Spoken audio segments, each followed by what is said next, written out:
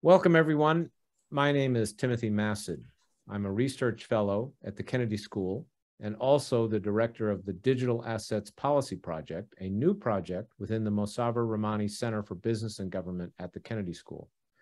I am delighted that our inaugural event is a discussion with Undersecretary of the Treasury Nellie Liang on the Future of Money and Payments report, which was just released on Friday along with some related reports these reports were required by the White House executive order on ensuring responsible development of digital assets, which was issued in March of this year. Undersecretary Liang, thank you so much for making time out of your busy schedule to join us just days after these reports were issued.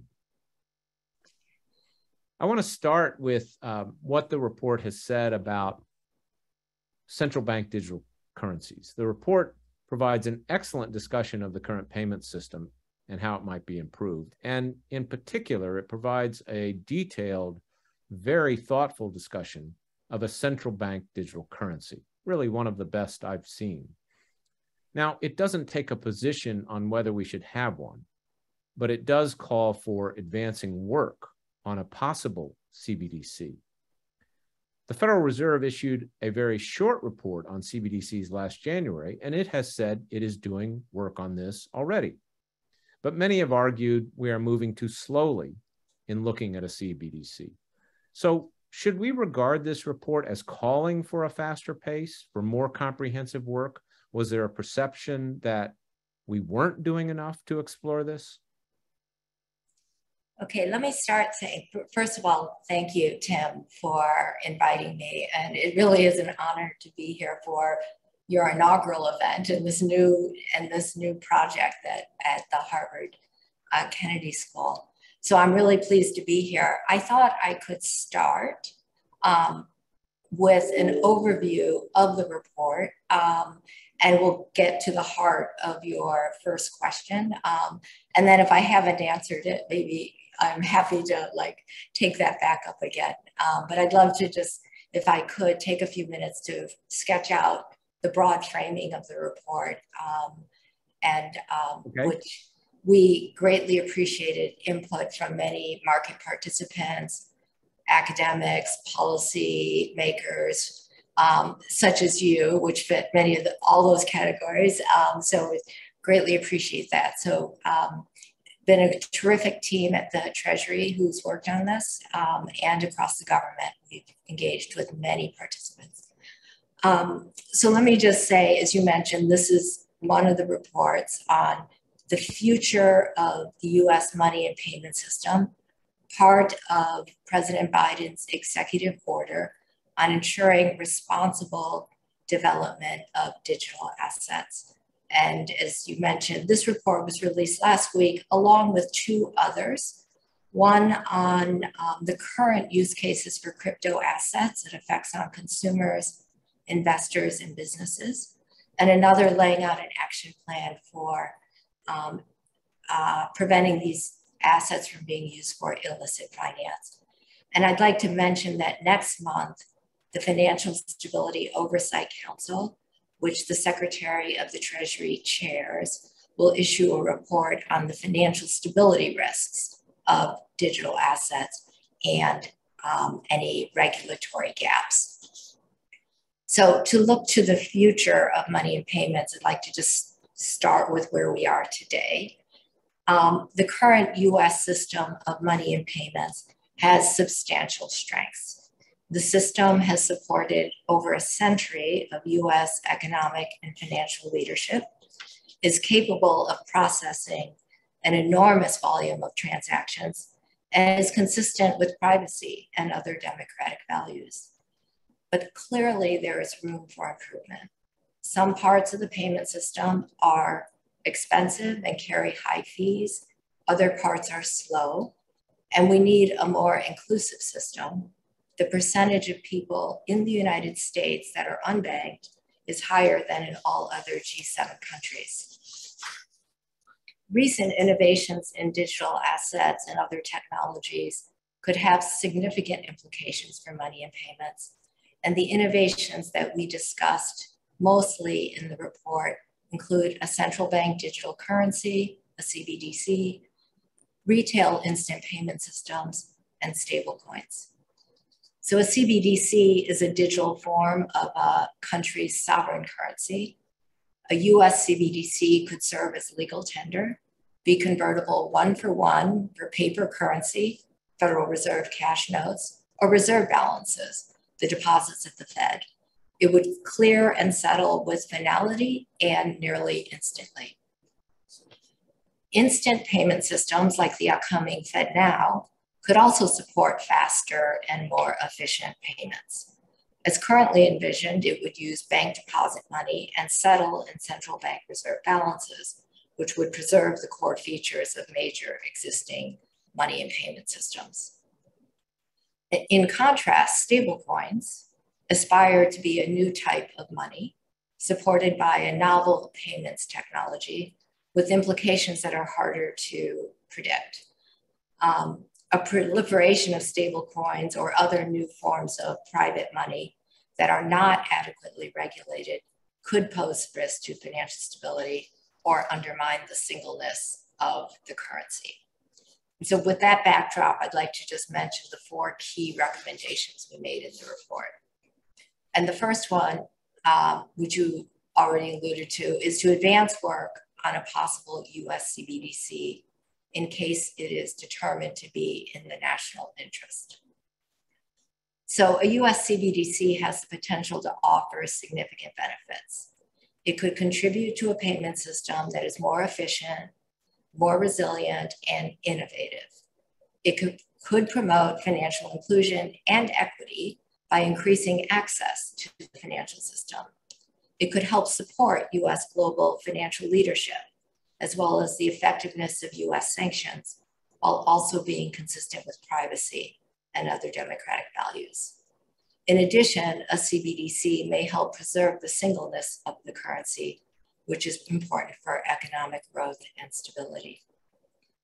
There also could be unintended consequences of a US CBDC, especially depending on how its design would affect private financial intermediation it would be a, it is a liability of the central bank. In some situations, consumers may prefer it to bank deposits, leading to a reduction in private credit availability. There could be destabilizing runs to US CBDC in periods of stress. In addition, because a CBDC would need to be extremely reliable, technological experimentation would likely need to proceed more cautiously than with private sector payment innovations. There are many important design choices to be made to achieve the potential benefits while minimizing the risks, and these need additional consideration. For example, a US CBDC could be wholesale or retail or use direct or indirect access models. Transactions could be tiered based on amount or counterparty type Further, there's need for more research and development on the technology to support a US CBDC, which experts believe could take years. So for the US to build the capacity, for the US to build capacity to adopt a CBDC, even as deliberations continue about whether one is in the national interest, the report envisions work in three areas. First, the Federal Reserve should continue evaluating the policy considerations that it outlined in its January 2022 discussion paper, as well as its research and technical, technical experimentation on CBDCs.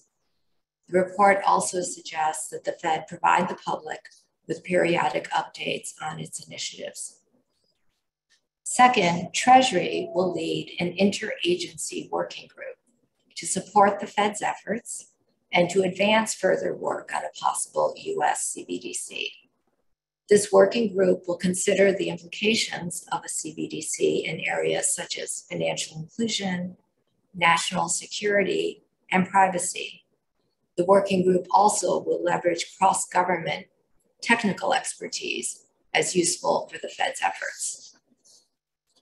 Third, the leadership from the Federal Reserve the White House, and the Treasury Department will meet regularly to discuss the progress of the CBDC working group and to share updates on CBDC and other payment innovations. The second recommendation of the report is to encourage use of instant payment systems. Retail instant payment systems transfer funds nearly instantly, as opposed to the multi day settlement period that occurs on some legacy systems. In the US, examples include the clearinghouse's RTP network, launched in 2017, and the FedNow service, which the Fed plans to launch in 2023. Global experience suggests that instant payments can make the payment system more competitive, efficient, and inclusive. Yet the potential benefits could be limited by certain frictions, such as inertia, slow adjustments among consumers, businesses, and financial institutions to change their habits or procedures to incorporate new technologies. In addition, these instant payment systems are generally accessible only to depository institutions. So to maximize the benefits from instant payments, the report suggests several efforts. First, the US government should continue outreach efforts around instant payments with a focus on the inclusion with inclusion of underserved communities. Second, the US government should promote development of technologies that would allow consumers to more readily access instant payment systems.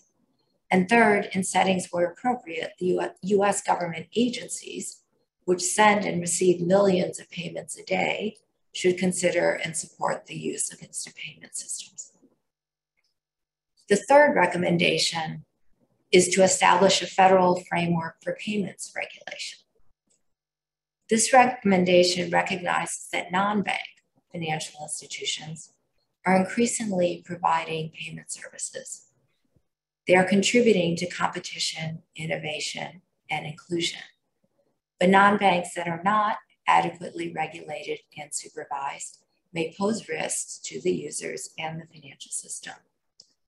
Today, oversight of non bank payment providers is generally at the state level and this varies significantly across states and may not address certain risks in a consistent and comprehensive manner. Accordingly, the report recommends considering the establishment of a federal framework for non bank payment providers. A federal framework would provide a common floor for minimum financial service resource requirements and other standards that may currently exist at the state level. It also would complement existing AML CFT obligations, the anti money laundering and countering of finance terrorism obligations, and consumer protection requirements that apply to non bank payment providers. A federal framework could work in conjunction with the US CBDC or with instant payment systems. It could provide oversight of firms that a US CBDC system may rely on to provide a range of financial services. In addition, it could provide a pathway for non bank payment providers to participate directly in instant payment systems. And finally, the fourth recommendation is to prioritize efforts to improve cross border payments. Cross border payments, those that go from one jurisdiction to another, can take multiple days to clear and may have high fees. Indeed, it is one of the main impetuses for the development of much of the new technologies and efficiencies for payments. The report's final recommendation supports work to develop a faster, cheaper, and more transparent international payment system while considering the potential risks associated with greater integration of cross border systems. It recognizes that the United States has a strong national interest in supporting global standards for cross border payment systems that reflect US values, including privacy and human rights, consistency with AML CFT obligations, and US national security. So, just to summarize, we believe the digital assets and instant payments can transform money and payment systems. The report makes four recommendations We hope to continue to work closely with other parts of the government on these very important issues. And thank you, Tim, again for inviting me today. Great. Well, thank you, Undersecretary, for that excellent summary of the report. And again, I, I strongly urge people to to read it. It it really is an excellent discussion of these issues, particularly with respect to some of the policy choices on a central bank digital currency. So let me just um, ask in terms of that, uh, because as I say, the Fed Federal Reserve had already issued a report and is doing research, but some people have said we're moving too slowly on that relative to other countries. Did you did you feel that? Did the, the those involved in the report feel that? Is this a call to go faster, or is it just endorsing kind of the, the road that the, the Fed has been on?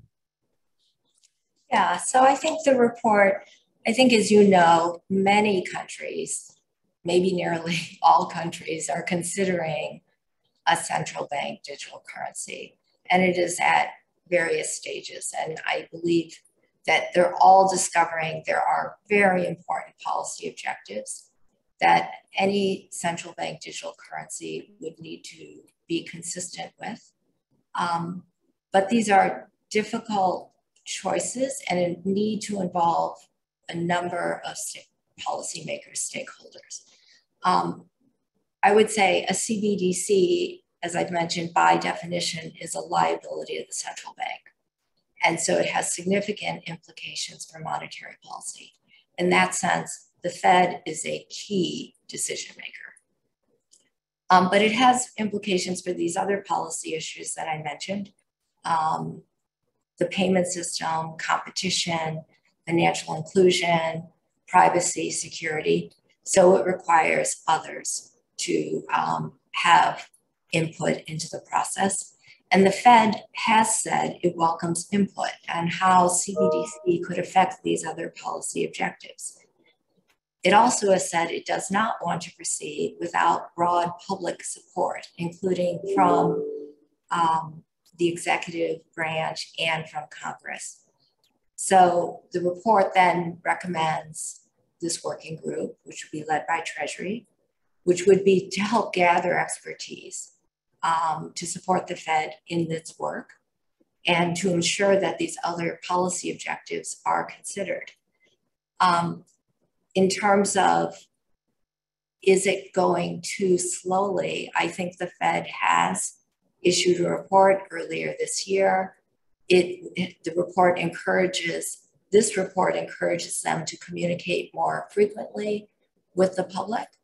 Um, and the new working group will also establish a regular cadence of meetings and prioritize this work. Can you can you say a little more about this new Treasury Interagency Working Group? Who will be involved in that, and what exactly, say, would you see it doing over the next year?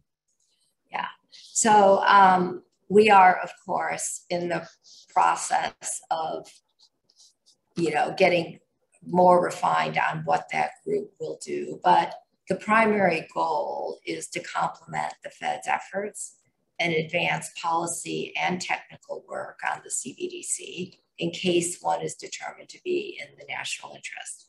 So there's a few areas where of specific work that I could highlight. Um, as I mentioned, how a CBDC would be consistent with financial inclusion, national security, privacy, the trade offs of privacy, and say um, anti money laundering, CFT considerations. Um, it will continue to assess the merits of the CBDC, trying to incorporate what we can learn from others as they are also developing um, a CBDC. And third, it will try to bring together and leverage the cross government technical expertise on digital assets that could be relevant for a CBDC. Um, in terms of who would participate, as I mentioned, there will be a regular cadence of meetings. Um, each of these issues could involve a different set of agencies or regulators, and um, I imagine that they would be brought in um, where their inputs would be especially valued. You mentioned that it could take years before we have a CBDC if we decide to have one. And it's obviously hard to predict what the path will be until we do this research and development. It's hard to know exactly when we will have arrived at the point where one can make a decision. So, what milestones do you foresee? What what metrics will measure our progress? A great, great question. Um, I think there is a commitment by the Federal Reserve and the administration um, to inform the public about ongoing work. And um, there could be pilot programs that would offer an objective metric. Um, but I think the communication is probably the best way to monitor progress.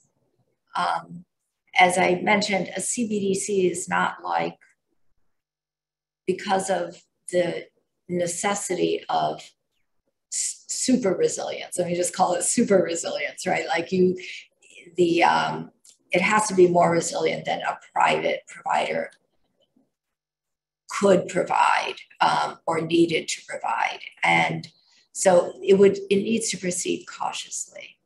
Um, and my, I expect that it will test out various features over time.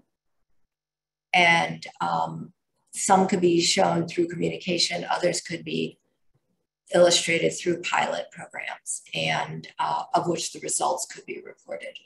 Mm-hmm. You've I'm sure looked at what other countries are doing and thought about that. Do you have any sense of what kind of budget we should have in terms of this research and development effort? I mean, does anyone have a sense of order of magnitude for that? Um, we didn't get into the details of that kind of of that effort for this report. Um, I think that is also part of the long time horizon. Mm-hmm. Also, governments looking to the private sector for their innovative energies and, and new projects and ideas. Um, I do know, you know, some countries have looked to the private sector to take on a role for a specific experimentation about a piece. Um, I do not know what the budget is, um, but so we did not get into get into that You, you mentioned the private sector. Maybe we can talk for a minute about that. I mean, some of the research certainly is driven by technology. Everyone can agree on the goal, like a CBDC should be privacy protected, meaning we don't want the government knowing or collecting massive quantities of data about all our transactions. On the other hand, some of the issues, as you've noted, are involve more complex policy trade-offs. Um, how will it be distributed? What's the role of banks? What's the role of non-bank payment providers? And you know those questions involve uh, important public policies and difficult trade-offs, and they affect different market participants differently. I don't I'm not asking so much about those issues. I think the report does a terrific job talking about them. But how do you think about the process, particularly maybe the, the Treasury Interagency Group, in terms of working with the private sector? Um, do you foresee private sector participants on some sort of advisory group, or do you do you perceive it more as just you know interaction where it's needed on particular issues? How, how, how do you envision this Treasury working group uh, working with the private sector on these issues? Yeah, um, first, I would say we highly value private sector input on policy issues, not just on technological experimentation. Okay, so just to be clear on that, we did not get into the specifics about establishing formal um, arrangements. I think I think there's no doubt we will turn to look to private sector for views. Um, but whether it will be formal, informal, I think those are all issues that are still to be still to be discussed and worked out. Mm-hmm. Well, perhaps we can move to the um, the, the broader subject of payments. As you noted, um, the third recommendation is that we establish a federal framework for payments regulation. Although I, I would note that the text later says Treasury recommends consideration of the establishment of a federal framework for payments yeah. regulation.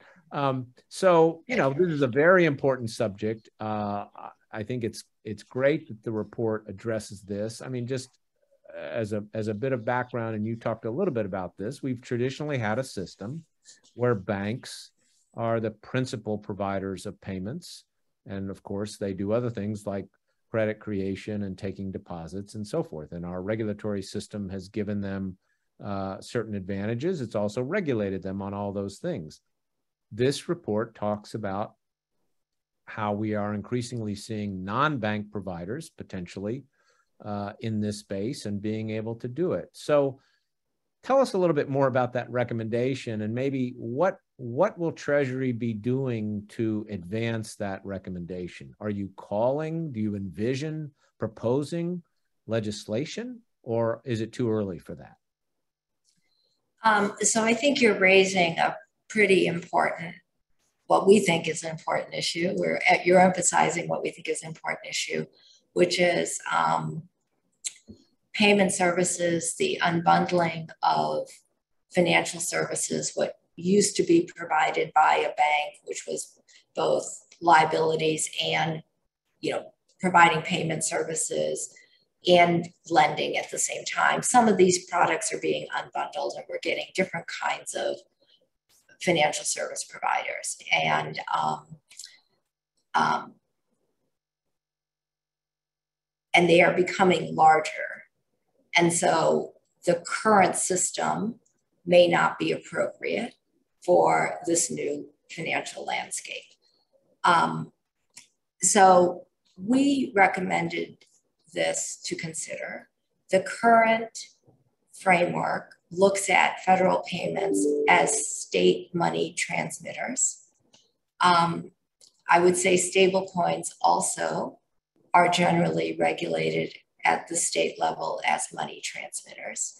That regulatory regime um, was not really designed to think about the macro risks of broader, larger payment providers that do more than just provide transmit money. So that was, we currently have a state system, different standards by state, which may be appropriate for those states. But this, this set of firms and provision of these activities have gotten larger and um, more and more complex and could have more macro implications. Um, so I, in that sense, we thought we would consider. Is it too early? I think it's important for regulators, state and federal, to consider their own set of authorities right now and review that. And could you develop a scheme that would provide the appropriate oversight? Um, I think it hasn't been elevated as a primary objective yet. And now maybe it's perhaps they could get there with their existing authorities for payment providers. I would just mention though, but we do not think that is the case for stablecoins. Stablecoins are different than, say, um, standard payments um, that currently exist that may work through the state uh, regulatory system may work through the banking system. Stablecoins are outside, and we do think you need legislation to address those issues. So, on that point, um, obviously, we had the report of the president's working group on financial markets together with the FDIC and the OCC last November on stablecoins. That report called for legislation to regulate stablecoins. Uh, this report understandably doesn't repeat all of the things that were said in that report, but how do you think you're doing on that issue? How are we making progress toward that? And yeah. I take it that you what you are saying is you want to see stablecoin legislation, and even though that is one type of non-bank payments, the broader issue of sort of a, a payments framework, if you will, is kind of second to dealing with stablecoins. Is that a fair statement? Yeah, I think um, we have different kinds. As I mentioned up front, we have a number of different innovations in payments that could we think should be looked at in terms of all of our policy objectives, including financial risks.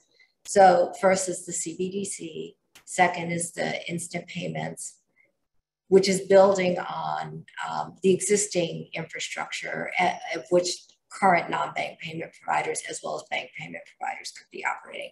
And third is stablecoins. Um, stablecoins are new technology, perhaps a provision of new types of money. They're a bit more complex than the existing system. I think we identified run risk, payment risk, potential for um, disrupting a single uniform currency and believe that legislation is needed to address those, that the current authorities of the financial regulators is not sufficient to address those risks.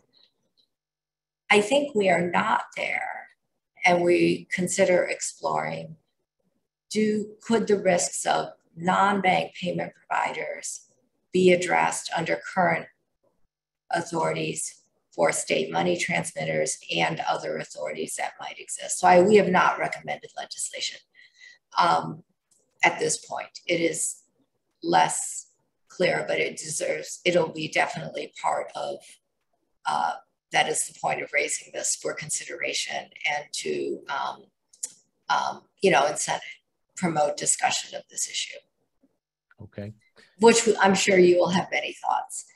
so I just happy to always share my I, yeah. Um, maybe we could turn to the international uh, implications of some of these issues, particularly with respect to a central bank digital currency. Do we need a CBDC in order to preserve the global role of the dollar? And if we're not in a position to answer that today. Is that something that the Treasury working group would address, or is that more of a Fed question? And do we need a CBDC for other international objectives, national security objectives, or sanctions, or so forth? Mm-hmm. How did you all think about mm-hmm. those issues? Mm-hmm. Yeah, that's our um, that's a raises a whole set of very interesting questions. So there have been observers who suggested that um, a US CBDC is needed to preserve uh, US global financial leadership, um, arguing that efficiencies created by foreign CBDCs or potential foreign potential CBDCs could create competition for the dollar. Um, I don't, I'm not in that camp in the sense of I think the prominence of the dollar reflects many factors beyond payment system efficiency. Um, these include, you know, the strong economic performance of the U.S., sound macro policies, its institutions, its liquid, deep and liquid financial markets, uh, rule of law, institutional transparency, free floating currency. There's a long list. I think those are all critical to what supports global, uh, US leadership and the role of the dollar. Um, that said, you know, um, the US should be considering a CBDC. Um, and over the long run, one could imagine some financial and economic decisions could be tied to the technological efficiency of of the payment mechanism of the asset, the bearer asset, and could be tied to the convenience. So one could imagine, depending on how the digital world evolves, um, there could be some value to technological compatibility. Um, and so, but currently, I just just do not think that is what is is crit that it's a you know among the top list of factors that support the role of the dollar in the in the U.S. Um, so, but we all have interests, of course. Um, our the the work by the U.S. on developing this and and establishing standards that we believe are important for a CBDC, I think also helps us in our engagements with other countries and their discussions of, of CBDC. So I think it's important, whether or not we determine to issue one ourselves for this country, it's important to be engaged in that discussion and to promote uh, values consistent with, with um, US values.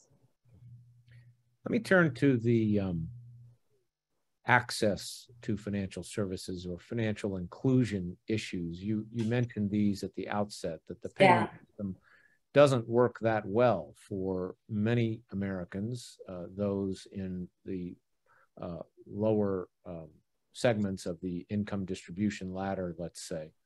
Um, some have said a central bank digital currency could be a great asset, particularly if we did some sort of retail version, even had uh, accounts, individual accounts for people at the Federal Reserve. Uh, the Federal Reserve, in its report, um, basically said it wasn't real crazy about that approach. Um, how much of this, I mean, just stepping back, when you think about the challenge of access and financial inclusion. And obviously, the Treasury is doing other things on the, in this area. How much of this is a technology issue where we need faster systems, better systems, easier systems that one can use on your phone? Mm-hmm. And how much of it is a regulatory issue that maybe we just need different rules, either making it easier vis a vis know your customer requirements or mandating uh, banks to provide uh, accounts to people uh, with, say, a certain level of services, or even something like what Brazil is doing, where they have um, basically mandated a common application uh, that all financial providers must use called PIX uh, that they believe will really yeah. financial services. So how, how do you think about it, the sort of technology versus maybe it's more regulatory policy issues in terms of financial access and inclusion. Yeah, so um, you're highlighting a really important facet of our current payment system, which is um, lack of financial broad inclusion. As I mentioned in my comments, the US has the highest percentage of households individuals that are unbanked of across all the G7 countries. It looks as if part of that, I mean, surveys suggest one, it's due to both lack of trust in banks and two, um, high fees. So, to the extent that new payment systems can overcome those factors, it can help quite a bit. So, um, so I think to increase financial inclusion, you could use both a real-time, a real-time instant payment system or a CBDC. It's even possible stablecoin could do it if all three reduce the costs of transactions. And that's the promise of some of this new technological innovation is lower transaction costs. And I think over time, as this technology, you know, we want to allow the technology to develop and see if it could achieve that.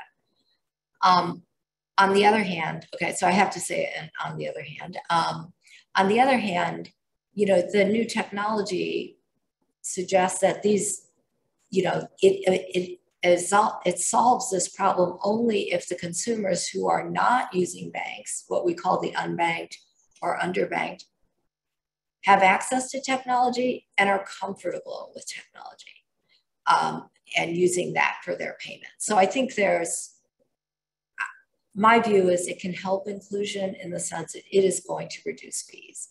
It certainly should make it easier for it to increase access for those who want to.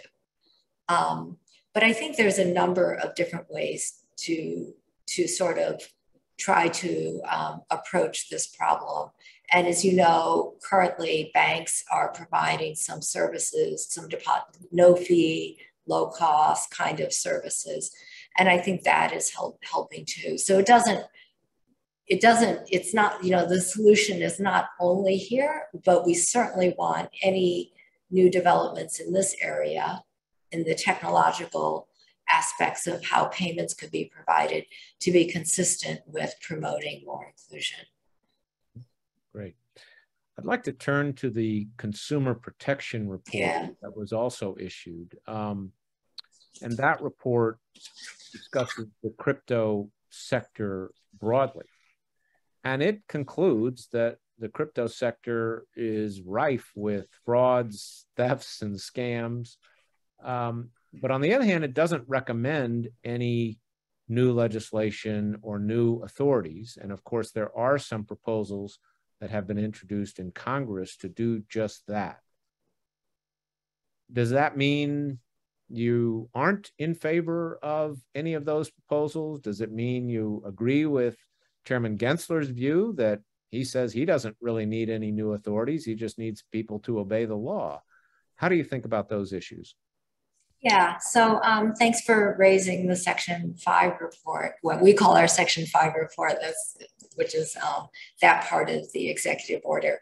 Right. Um, that was, that report is focused on, and just let me set, distinguish a little bit, um, crypto assets, which are a subset of digital assets in the sense of we exclude CBDC from that discussion. So this is current crypto assets.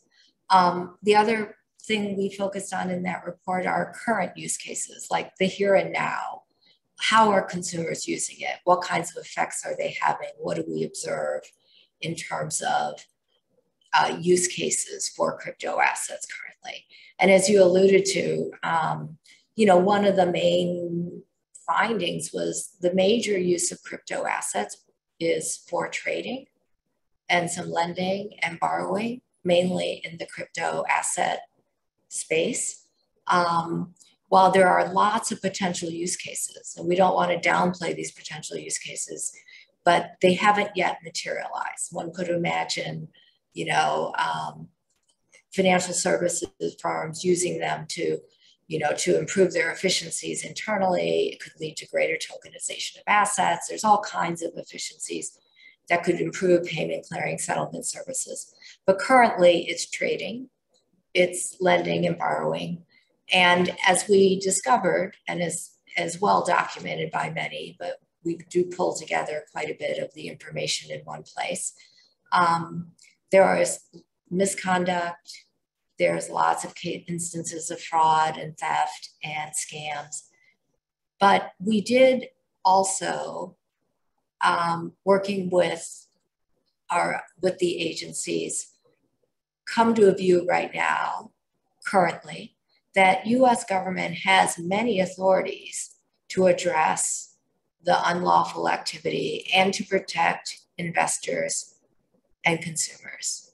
And that so the first recommendation is to have them aggressively pursue their investigations and bring actions to enforce all applicable laws. I think that reflects one, the efforts that the agencies have already taken and the successes of many of those. As you know, like the SEC has had 80 plus cases. You know, the CFTC and FinCEN and others have worked together and brought enforcement activities and assess monetary fines. But it also reflects the urgency of um, to in the here and now to protect consumers and investors. And so I think that's the first recommendation. The second, though, is to review existing authorities carefully, um, design guidance, and to work collectively. These are, it's technology, but they're providing financial services that have always been provided in some form or another. You know, there may be a different activity, but generally they're trying to provide, they're either an investment or they're providing a payment service. We do have existing regulations for those kinds of financial activities and to protect investors and consumers in the provision of those activities. And it could be that collectively regulators may even have more. So that is the um, second recommendation to um, clarify authorities for themselves and for the public and enforce compliance um, and to look at collectively whether they could.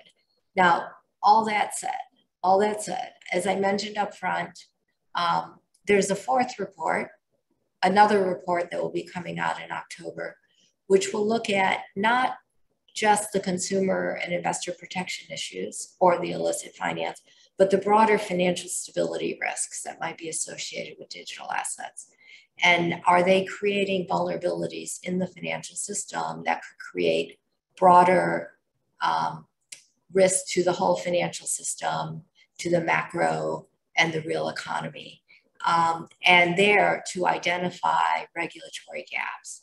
So I do think there is, um, there will be additional work to to look at are these creating new areas of intermediation, new types of intermediation that create different vulnerabilities that are not covered by current authorities. Um, but that work is ongoing, and um, as you know, we can never get ahead, of our, you know, get ahead of that process. So um, I think that's part of the should be is an important part of the discussion. So insofar as you will be looking at regulatory gaps and whether there's a need for new authority, I, I, take it what you're saying is you, you haven't made a decision on whether some of these proposals that are circulating in Congress are ones yeah. administration would want to back. Yeah. And, and would that work then? Will that work be led by FSOC or by the Treasury or by the President's Working Group, or what? What will what do you envision there? Yeah. Um, so that report is a FSOC report. Right. Um, it does not mean that FSOC has to lead all the all the work that comes out of the recommendations, mm-hmm. but I think it will depend on the recommendation. Um, and some could be, you know, directed at regulators. Some could be um, suggest that legislation is needed. I think there's still a range of possibilities. And that report will be out in a couple of weeks? Um, beginning of October, near the beginning of October. Great. October, the month of October. Let me say it that way. don't, again, don't want to get too far ahead of. Uh, okay. um, there is also a section that talks about illicit finance and discusses mm. the risks of illicit finance with crypto. And here, of course, the Treasury through uh, FinCEN has done, I think, great work in terms of developing standards and trying to apply those. And of course, the participation in uh, international uh, fora, such as the Financial Action Task Force. There's been a lot of work there. Um, and the report makes several recommendations uh, about continuing that work and new steps that are needed. I don't want to so much get into those specific recommendations or even the issues of, you know, how well can we trace transactions on the blockchain or what's the effect of software that can disguise identity. Obviously, we had the whole issue with Tornado Cash, which I won't ask you about because I know it's in litigation. Because it's in litigation. Thank you. Appreciate that. but I, so instead, I, I, I sort of want to ask you about uh, whether the government needs to articulate more of a first principle here. And let me explain what I mean. I mean, traditionally, we've had a financial system where the government can identify the parties involved in a transaction if it needs to and if it complies with appropriate legal process, meaning it has cause, it gets a subpoena, a warrant, or you know whatever the rules require. Um, at least if the transaction is conducted electronically as opposed to maybe suitcases of cash, that's a little different. Um, you know, we've had very strong know your customer rules and other procedures. I mean, Congress even applied know your customer rules to antiquities dealers fairly recently. So is it time to, to articulate that the same principle needs to apply to crypto? In other words, that the government should have the ability, where there's cause and where it complies with appropriate procedures that protect people's rights and reasonable expectations of privacy, to identify the beneficial owner of any blockchain address. There should be systems for doing this. This, this technology and this industry should not be beyond the reach of government. Mm-hmm. Mm-hmm. Um, so I think, Tim, we have articulated a principle that to the extent that new technology is offering financial services that have always been offered, but it's being done in a new form. It does not mean it is not subject to the same regulations. So, in other words, um, regulations should be technology neutral. And I think that is the case with digital assets and illicit finance. Um, you know, Treasury began looking at, and they call it virtual assets, just for those who read all the all the um, guidance from from that group. They've been looking at this area since um, has been issuing guidance since about 2014, and um, and they've been ramping up. And um, I would say that they are absolutely approaching this with this is an activity using money in some form or assets in some form for financial crimes, for money laundering, uh, for terrorist financing, and they should then be subject to the same responsibilities and should be subject to the same penalties and fines. So I, I absolutely agree with you, Tim. I think there, there's some interesting work. They've been doing um, really interesting work in this space and we've been following the use of crypto technology um, for, for um, money laundering for years. And every year they put out a national risk assessment every year. Maybe it's every two years. I'm not sure. It's, it's frequent.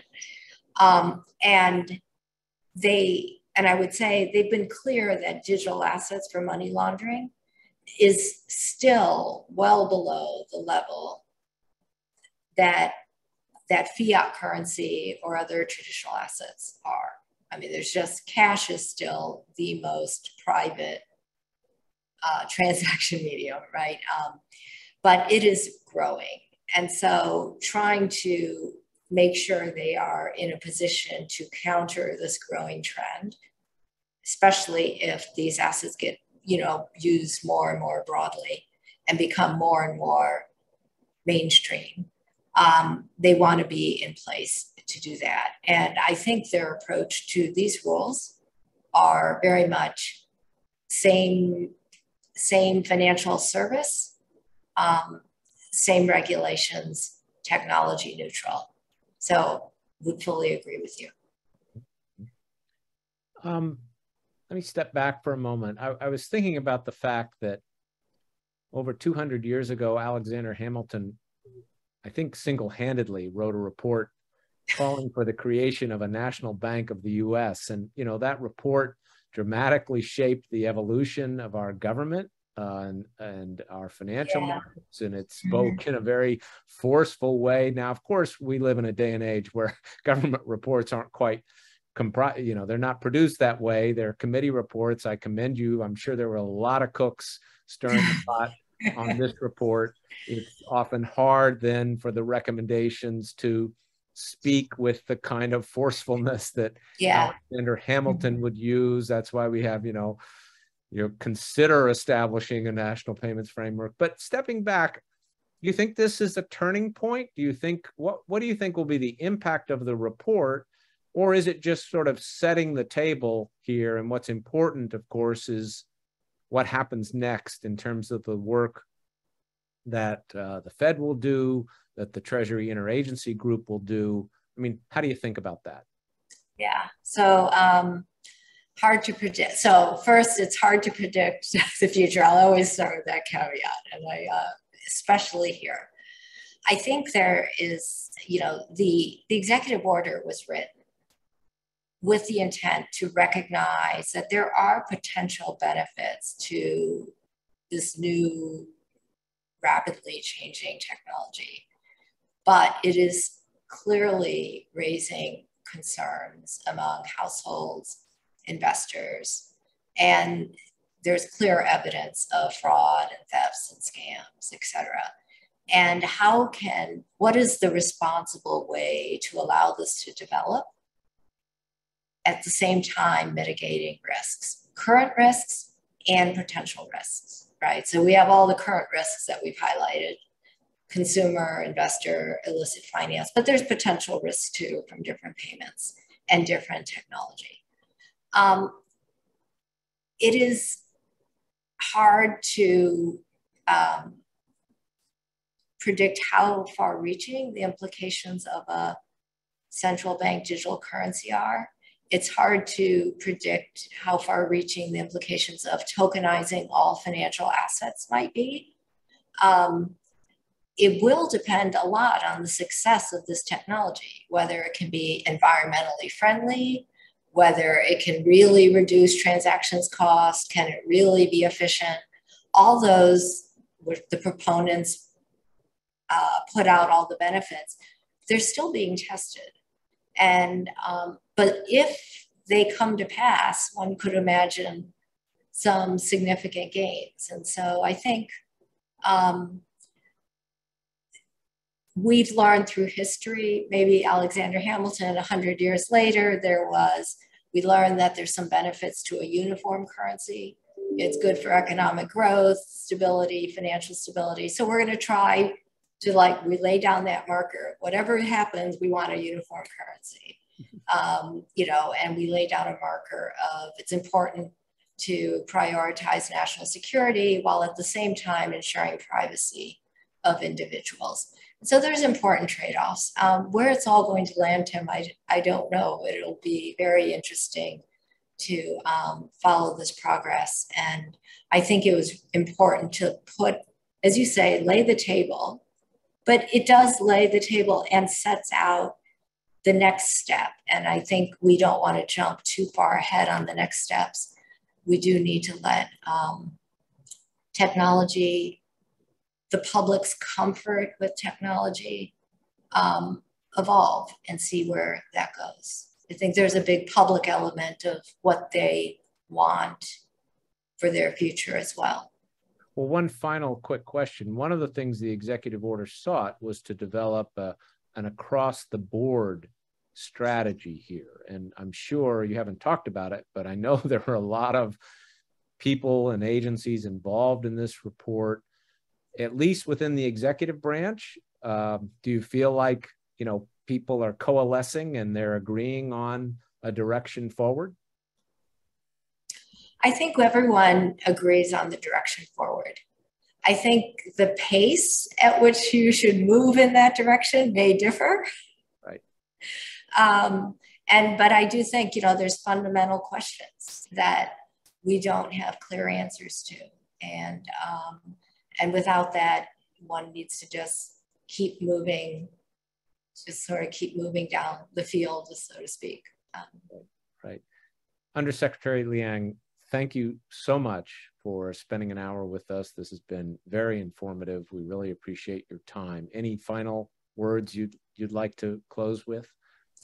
Uh, no. So thank you, Tim, and good luck on your new um, project. I think the idea of a digital assets program is uh, very exciting. Also suggests that there's quite a bit in the private sector, um, not just the governments, uh, thinking about the potential and uh, look forward to uh, learning a lot from you and your program. Well, great. Well, we'd love to get you up to Harvard in person to uh, to share your thoughts with us. So I may be back in touch with you on that. Thanks so much. Thanks.